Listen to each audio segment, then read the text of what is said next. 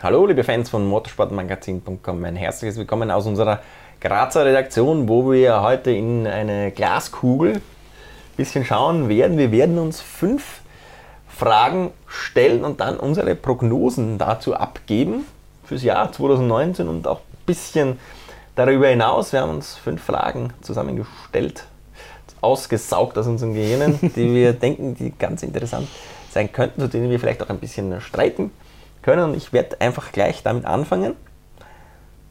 Mit einer durchaus provokanten Frage.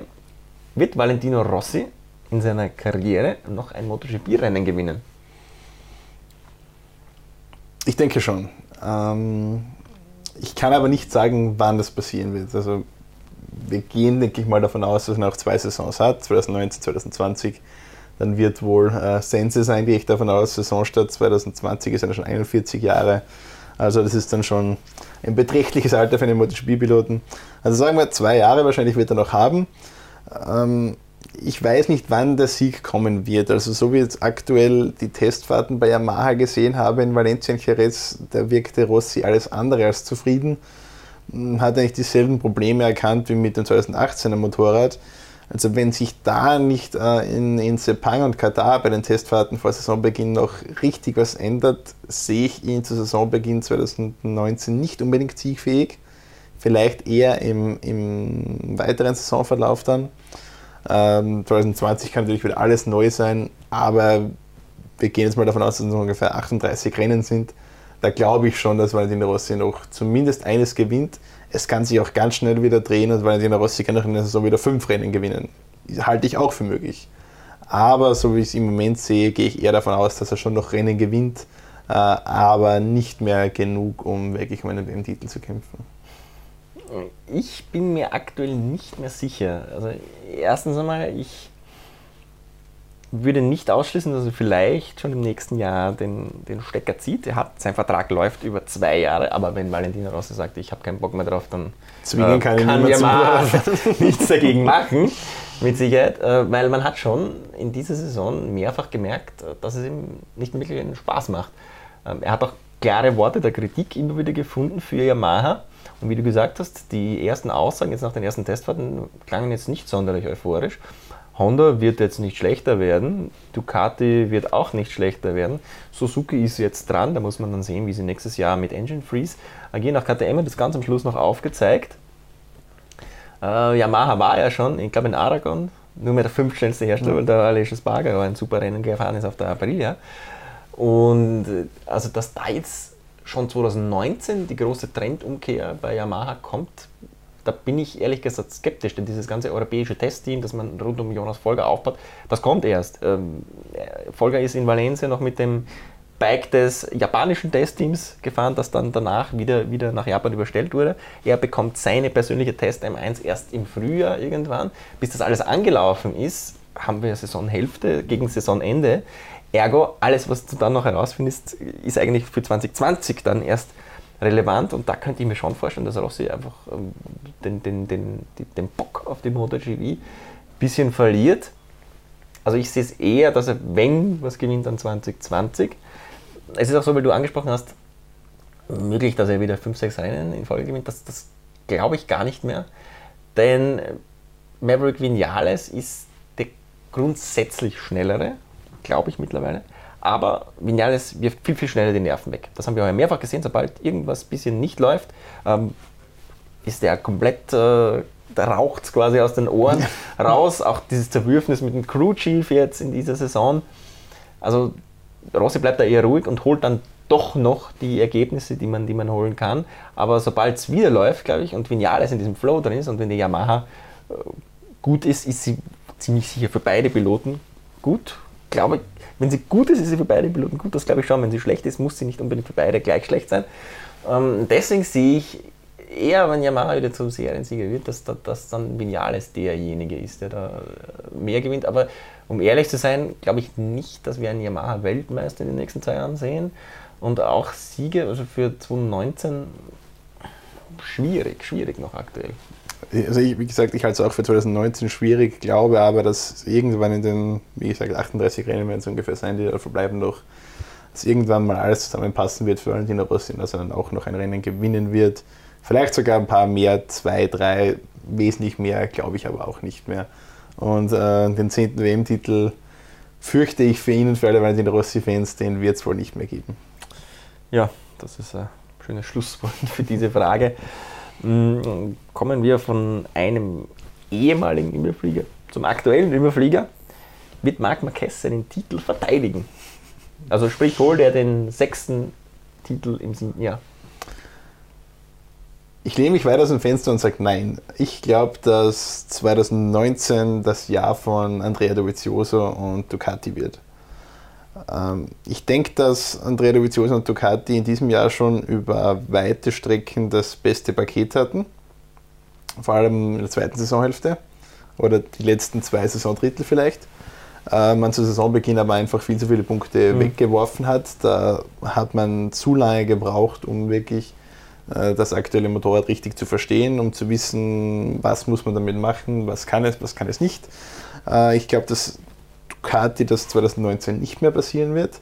Äh, ich glaube, dass Ducati auch nochmal in der Lage ist, einen, einen ordentlichen Schritt zu machen. Äh, allein schon, wenn man sieht, was an Entwicklungsarbeit bei Ducati jetzt bei den Testfahrten äh, wieder alles passiert ist, was für Konstruktionen sich Gigi Dallini da wieder ausgedacht hat. Also das ist Flügelchen, genau, Knüppelchen. Also da sieht man allein an der Ducati gleich viele Innovationen wie an allen anderen Motorrädern zusammen. Also was da an Entwicklungstempo in den letzten Jahren bei Ducati geleistet wird, ist für mich absolut irre. Andrea Dovizioso ist stärker als jemals zuvor ist schnell, ist konstant, äh, kann bei allen Verhältnissen stark sein. Äh, wenn der es schafft, zu Saisonbeginn äh, schon wirklich gut mit Marc Marquez mitzuhalten, ähm, dann könnte ich mir durchaus vorstellen, dass er ihn auch über die ganze Saison fordern kann und auch schlagen kann. Also auch im Sinne einer weiterhin spannenden MotoGP sage ich, der Titel 2019 geht nicht an Marc Marquez, sondern an Andrea Dovizioso ja, dann habe ich jetzt die einfache Aufgabe zu sagen, er geht an Marc Marquez. Nein, ich, ich glaube aber auch, dass er es macht. Äh, Ducati ja, aber ähm, Dovizioso und Ducati als Champion, ich weiß nicht so ganz. Äh, Marc Marquez, das Einzige, was mir da ein bisschen hm, Sorgen bereitet, jetzt im Hinblick auf einen Marquez-Titel, ist diese Schulterverletzung. Er hat sich jetzt vor kurzem unter das Messer gelegt, diese linke Schulter war es, glaube ich. Ja die immer wieder rausgesprungen ist, ähm, während Stürzen und so weiter. Hat er sich jetzt operieren lassen, das heißt, die sollte jetzt stabiler sein, aber so eine, so eine Schulterverletzung ist eigentlich eine Sache, die sich ganz schön hinziehen kann. Also Andrea Janon hatte das auch eins, das hat ihn auch so eine halbe Saison lang begleitet und das muss auch nicht durch eine Operation gleich gelöst sein, dass die Erfolgsaussichten ähm, liegt dann bei weitem nicht bei 100 Prozent. Er wird jetzt einmal sechs Wochen gar nichts tun können, dann sind wir schon mal Mitte, Mitte Januar, Ende Januar, dann geht es zu den ersten Tests. Es gibt nur noch sechs Testtage im Februar, das hat man ein bisschen zusammengekürzt, dreimal Sepang, gleich Anfang Februar, wo es wahrscheinlich noch schmerzen wird irgendwie. Dann Katar und dann geht schon die Saison los, am 10. März ist Saisonstart. Das heißt, äh, Marquez hat nicht einmal 100 Tage, bis er das erste Rennen wieder fahren muss. Daher denke ich, dass die Saison offener wird als dieses Jahr, weil er gerade im ersten Saisontritt, glaube ich, schon noch Probleme haben wird. Es könnte dann natürlich ein Problem werden, wenn wieder was mit der Schulter ist, denn er ist, in, Marquez ist am häufigsten gestützt von allen MotoGP-Fahrern in dem Jahr. Ich glaube, waren es 23 oder 26, so, ja. so rum. Äh, und da kann natürlich schnell mal, er hat ja auch äh, Highspeed-Abflüge immer wieder, es ist ja nicht alles, alles nur so, dass er leicht wegrutscht. Ähm, er braucht auch seinen kompletten Körper am Motorrad, um sich immer wieder aufzurichten und diese Saves zu machen. Mm, und wenn da nochmal was ist und dann verlierst du ein oder zwei Rennen, dann glaube ich, ist Dovizioso schon so nah dran, dass er ihn schlagen kann. Ähm, aber davon gehe ich jetzt mal nicht aus und deswegen glaube ich, macht die sichere Bank und sagt, Marquez holt seinen, seinen sechsten Titel. Ähm, bleiben wir bei, bei Repsol Honda. Gewinnt Jorge Lorenzo auch auf Honda? Klares Ja von mir. Äh, ich glaube, dass Jorge Lorenzo jetzt bei Ducati gezeigt hat, dass er sich eigentlich an jede Art von Motorrad anpassen kann. Seine Yamaha, auf der er drei Weltmeistertitel und unzählige Rennen gewonnen hat, ist eigentlich völlig konträr zu Ducati. Er hat auf beiden Motorrädern gewonnen. Mehrfach gewonnen. Mehrfach gewonnen. Glückssiege gefeiert. Genau, war mit der Ducati phasenweise wie in Mugello oder Barcelona gleich dominant wie auf der Yamaha, ein Rennen mit vielen Sekunden Vorsprung gewonnen, etwas, das wir eigentlich in der MotoGP aktuell gar nicht mehr sehen, mhm. dass es eigentlich nicht mehr gibt. Also das war ein extrem beeindruckendes Rennen von Jorge Lorenzo. Am Red Bulling aber auch einen Sieg in der letzten Runde genau. erkämpft. Auch das kann er, also sehr aggressiven Lorenzo, wie man es den kleinen Klassen von früher nicht mehr kennt. Ähm, und wenn Jorge Lorenzo die Ducati beherrschen kann oder konnte, dann wird er das mit Honda genauso schaffen. Also davon bin ich überzeugt. Die Honda ist ein Spitzenmotorrad. Umsonst holt man nicht zwei Saisons hintereinander alle drei WM-Titel. Äh, und ich bin überzeugt davon, dass sich Jorge Lorenzo auch bei, bei Repsol Honda durchsetzen wird und Marc Marquez fordern können wird. Ähm, das erste Jahr, glaube ich, wird noch schwierig für, für Jorge Lorenzo 2019. Es ist eben Marc Marquez Team. Es dreht sich dort aktuell oder bisher alles um ihn. Äh, auch das Motorrad ist äh, sehr stark in seine Richtung, auf seinen Fahrstil ausgelegt. Jorge Lorenzo fährt anders, ist generell ein anderer Charakter auf dem Motorrad. Da wird sicher ein paar Anpassungen brauchen, hat man aber auch bei den Testfahrten schon gesehen, dass man bei Honda da an Lorenzos Maschine schon am Tank oder was eben aussieht wie der Tank, der Tank befindet sich eigentlich woanders, äh, gearbeitet hat, wie man es von Ducati schon kennt. Ähm, also ich glaube, dass Repsol Honda da auch schon oder Honda schon begriffen hat, dass man sehr viel für Jorge Lorenzo tun wird müssen. Etwas, was man bei Ducati zu Beginn vielleicht etwas unterschätzt hat. Äh, aber ich glaube, dass das Paket äh, Lorenzo und Honda spätestens zweite Saisonhälfte 2019 siegfähig sein wird und da auch Siege errungen werden wird. Ja, da will ich nicht widersprechen. Also ich glaube auch, dass Lorenzo äh, schon 2019 ein Rennen gewinnen wird, schneller gut sein wird als auf der Ducati, weil auch Honda jetzt bei Ducati, wie du richtig gesehen hast, äh, gesagt hast, gesehen hat, wenn Lorenzo das bekommt, was er fordert, dann ist es kein Problem. Ja. Und äh, für Honda ist das insofern weniger eine Debatte, denn mit Pedrosa und Marquez haben schon in den letzten Jahren parallel, das sind zwei unterschiedliche Motorräder, ja. äh, in, in, der Garage gestanden. Denn Pedrosa aufgrund seiner Größe hatte äh, ein anderes Chassis, Motor ist, äh, ist, ist, ist, gleich, aber anderes Chassis und komplett andere Geometrie und so weiter. Also bei, und Honda hat auch, HRC hat auch die Manpower, dass man das locker stemmen kann, diese zwei Fahrer parallel aufzuziehen und eine parallele Entwicklung zu machen. Teilweise haben wir ja ähm, Marquez bei Tests fünf verschiedene Motorräder fahren sehen. Also das ist diese Honda Power ja. für so einen Milliardenkonzern natürlich kein Problem im Vergleich zu Ducati, die deutlich kleiner sind. Und daher äh, glaube ich, dass Lorenzo gerade auf seinen Strecken so schon auf jeden Fall 2019 siegfähig ist und vielleicht 2020 dann auch Marquez um den Titel schon bisschen challengen kann, wenn er, wenn er da irgendwie drin ist. Wäre eine coole Geschichte. Aber ich glaube, Lorenzo, ja. Ich glaube auch, dass die Ducati-Jahre Jorge Lorenzo jetzt bei Honda sehr viel bringen werden. Mhm.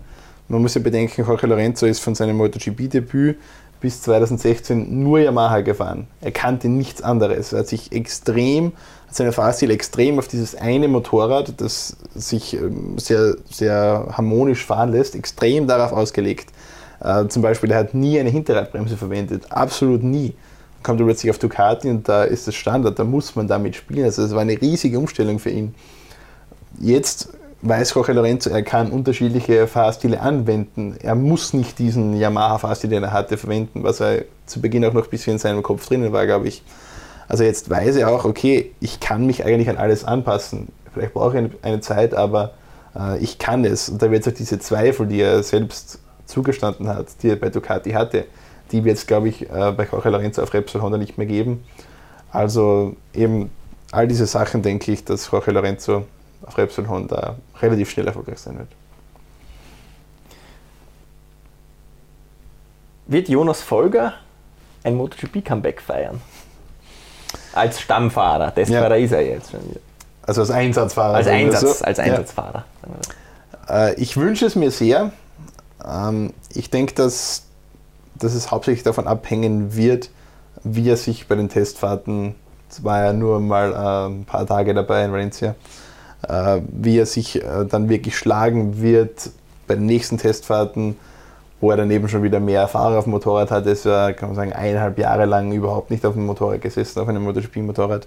Äh, wenn er da konkurrenzfähig ist, glaube ich schon, dass Jonas Folger wieder Lust hat, MotoGP-Rennen zu fahren. Er ist immer noch jung, äh, und ich würde es mir wünschen. Und wie gesagt, ich glaube, wenn die, die Pace stimmt in den nächsten Tests, wovon ich auch ausgehe, dann glaube ich, wird er wieder MotoGP fahren wollen, MotoGP-Rennen fahren wollen. Also ja, ich glaube und hoffe, dass wir Jonas Folger 2019 in ein paar Rennen auf der Yamaha sehen werden. Ich hätte vor Valencia gesagt, definitiv nein. Ich muss nach Valencia sagen, ich bin mir nicht mehr ganz sicher, denn äh, ich hab, konnte beim Test länger mit ihm sprechen und ähm, er ist wieder komplett offen, also freudestrahlend, fast recht locker, spricht auch ganz offen davon, dass er gerne Wildcard-Einsätze bestreiten würde im Jahr 2019. Ganz sicher ist es noch nicht, weil dieser Testplan noch nicht final steht. Aber man merkt, er hat wieder wirklich Bock auf Motorradrennsport und Bock auf die MotoGP. Ähm, ob er dann noch auf dem Radar der Teams so drauf ist, das wird die Frage sein. Also einerseits ja, ob er bei den Tests überzeugt. Ähm, was ich keinesfalls glaube, ist, dass er direkt ins Yamaha-Werksteam aufsteigen wird, denn ich habe im Social Media schon äh, ein bisschen gesehen, da spekulieren schon viele drauf, ja, wenn Rossi aufhört, drückt Folge so einfach nach. Das äh, halte ich fast für ausgeschlossen, denn ich denke eher, dass Rossi, wenn er nicht ein eigenes Team kriegt, bei Yamaha irgendwie bleiben wird und dann eher seine eigenen Junioren, seine V46 Academy Rider nach und nach dann dort hinbekommen äh, wird. Ähm, ergo müsste man ein, wahrscheinlich ein Privatteam oder so vielleicht finden, vielleicht auch KTM, weiß ich nicht. Äh, aber wird stark darauf ankommen, wie er sich bei den Testfahrten schlägt, richtig.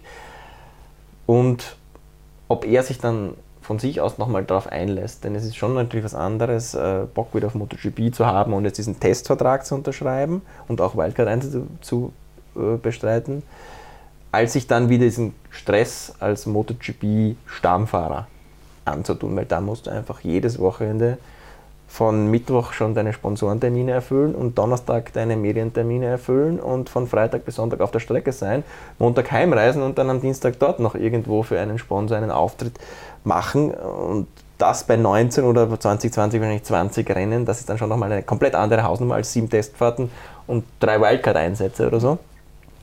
Und da, glaube ich, überlegt er dann schon nochmal, ob er sich das antut. Aber aber wie gesagt, ich, ich würde es mittlerweile nicht mehr ausschließen, dass Jonas Folger vielleicht noch ein MotoGP-Comeback als Stammfahrer feiert.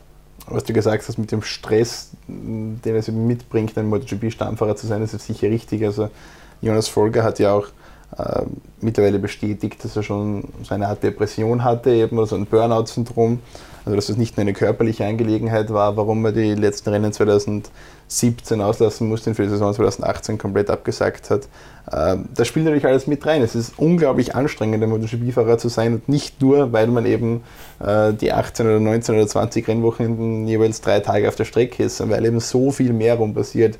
Die Reisen sind anstrengend, Sponsorentermine sind anstrengend wir Journalisten sind anstrengend, es spielt alles mit rein. Also das sind, sind, Dinge, die man vielleicht als Fan so nicht mitbekommt, aber äh, die einen Fahrer extrem viel abverlangen. Und ob er sich das eben nochmal antun will, ist die große Frage. Man muss sich nur mal ansehen, jetzt wie Marc Marquez in den letzten Monaten herumgereicht wurde. Da gab es in Indonesien Auftritte, weil Honda Indonesia, die dort irgendwie eine Million ähm, Roller pro Jahr verkauft, von ihm was haben will, ein Factory-Besuch, die eigene Feier zu Hause in der Heimat, die FIM-Gala, dort Schmierstoffe eine, mischen in der Repsol-Fabrik. in der Repsol-Fabrik, dort eine TV-Show in Spanien.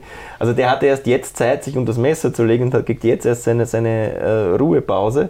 Und natürlich, das ist ein anstrengender Job, der weit übers Rennfahren hinausgeht. Und das, für das muss man eben erst geboren sein. Klar gibt es Leute, die das gerne machen und also gerne, will ich gerne, glaube ich, macht es keiner, aber Leute, die sich damit arrangieren ja. und zumindest ähm, versuchen, ihren Spaß an, an, an sowas zu finden. Und gibt es Leute, die einfach reinfahren wollen. Und für die ist das dann halt in der MotoGP wahrscheinlich nicht unbedingt so der richtige Job. Hoffen wir, dass sich Jonas Folger damit arrangieren kann, dass wir wieder einen Deutschen in der MotoGP Wir würden die Daumen drücken, wir sind große Fans von Jonas Folger. Absolut. Ja, die letzte Frage. In welchem Team gibt es als erstes interne Probleme? Also, wenn ich dir jetzt auf Österreich die Frage stellen darf, in welchem Team scheppert es zuerst? es gibt ein paar explosive Mischungen, würde ich sagen, aber ich gehe davon aus, dass es Aprilia sein wird. hat man mit Alessio Spargaro, der schon mehrere Jahre jetzt für Aprilia fährt, hat man sich jetzt Andrea None dazu genommen. Sind zwei sehr unterschiedliche Charaktere, würde ich sagen, haben aber eines gemeinsam und zwar, dass sie eigentlich ständig auf 180 waren. Also zwei echte Heißsporne, zwei sehr emotionale Menschen. Und äh, das in Verbindung mit dem Aprilia-Projekt, wo es ja eigentlich ständig irgendwo hakt und ständig irgendwo Probleme gibt, da kommt dann ein gewisser Faktor an Frustration dazu. Also das ist ein hochexplosives Gemisch. Da kann es eigentlich nur knallen, muss man sagen. Und deshalb gehe ich davon aus, dass wir bei Aprilia vielleicht schon nach den ersten paar Saisonrennen da einen ordentlichen Knatsch sehen werden. Ja, ich glaube, da, das ist der heißeste Typ auf jeden Fall. Heißler Alejio Sparger gemeinsam mit dem Maniac, der ja auch äh, bekanntermaßen mit Kritik nicht hinter den Berg hält, was ganz gerne öffentlich gleich mal äh, so zu Protokoll gibt, gepaart mit Aprilia, wo es wieder wieder schwierig wird. Also ich sehe da jetzt nicht, wo, wie man da große Fortschritte machen sollte. Auch wenn man jetzt Romano Albesiano aus seiner Doppelrolle als äh, technischer Technikchef und Teamchef ähm, entlastet hat. Aber ich glaube nicht, dass da von, vom Piaggio-Konzern so viel Unterstützung kommt, dass dieses Aprilia-Projekt so bald so erfolgreich wird, wie das Espargaro und Janone gerne hätten. Ja. Denn es beide haben ja eigentlich das Potenzial, Podestplätze einzufahren. Janone hat auf, auf Ducati Siegfahrer, hat mehrere Podestplätze in dem Jahr geholt. Aleix Spargaro war schon am MotoGP-Podest noch als, als Underdog.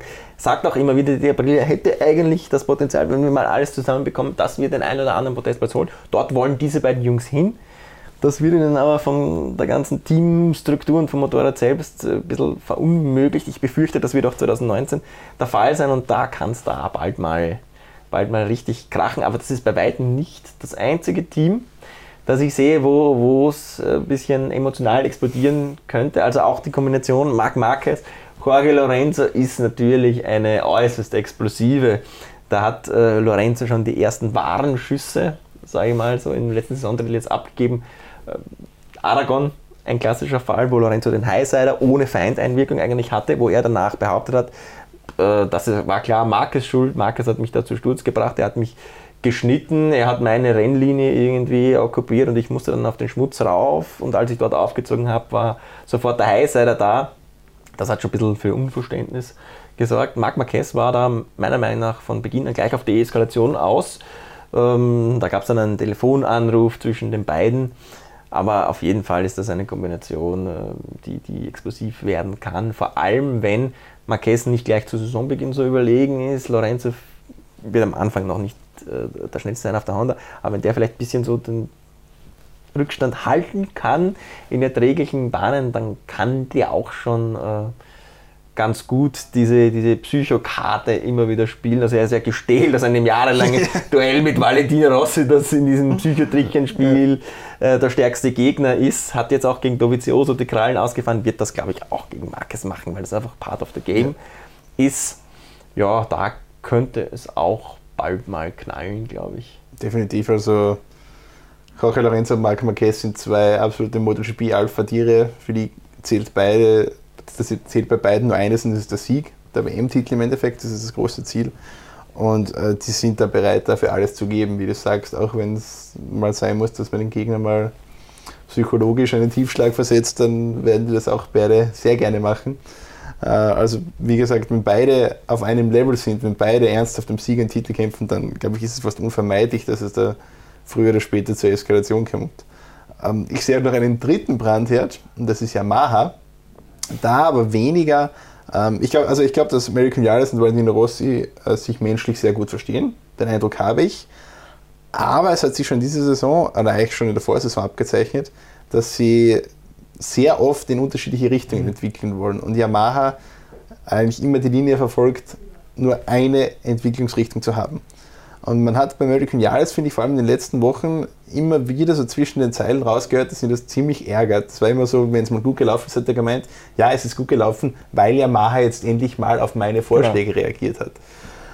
Yamaha wird aber, davon gehe ich aus, nach wie vor sehr, sehr stark auf Valentino Rossi hören, weil sie ihm einfach unglaublich viel zu verdanken haben und weil Valentino Rossi bei Yamaha viel mehr als nur ein Fahrer ist. Von seinem Einfluss her. Man muss auch sagen, ähm, marketingtechnisch ist ein Sieg von Rossi auch deutlich mehr wert als ein Sieg von Vinales. So ist es. Und diese Situation könnte früher oder später, glaube ich, bei Vinales für großen Frust sorgen äh, und dann auch irgendwann mal überkochen und zu einer Eskalation führen. Weil Mary Vinales auch ein Typ ist, der in seinen Emotionen sehr große Ausschläge hat. Er kann völlig deprimiert und völlig down sein, aber er kann auch richtig, richtig aufbrausend, richtig emotional und eben einfach ähm, seinen Charakter richtig äh, so zum Ausdruck zu bringen. Und das, glaube ich, könnte dann ganz schön, ganz schön kritisch werden, weil Valentino Rossi, wissen wir auch, der gibt in einem Team-Duell sicher nicht nach. Ja, diese fünf Fragen hätten wir jetzt mal beantwortet. Sollte es weitere Fragen geben von euch, wollt ihr irgendwas wissen, sollen wir irgendwas anderes prognostizieren, dann postet euch eure Fragen oder euch auch eure Kommentare zu unseren Fragen unter dieses Video. Verkürzt uns die Wartezeit auf den Saisonauftakt in Katar mit euren Fragen, denn dann können wir vielleicht ein weiteres Video aufnehmen, wo wir die User-Fragen zur MotoGP beantworten. Ansonsten bleibt uns nur euch eine ja, geruhsame Winterpause zu wünschen. Im Februar geht es weiter mit den Tests in Sepang, Anfang März mit dem ersten Saisonrennen. Bis dann.